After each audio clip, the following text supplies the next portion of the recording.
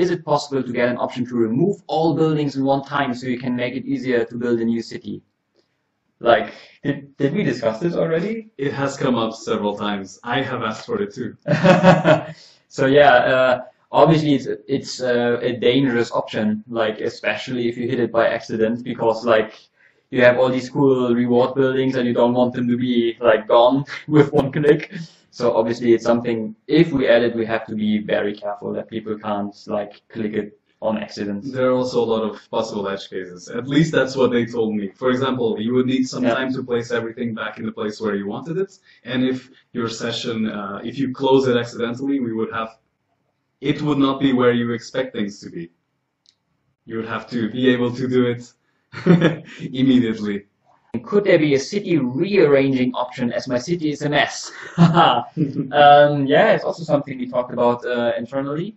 Um, Actually, this hour Yeah. already answered the question very similar to this one. Yeah, and um, I, I think we even considered like a button that you could just press and it just rearranges everything based on some sort of algorithm.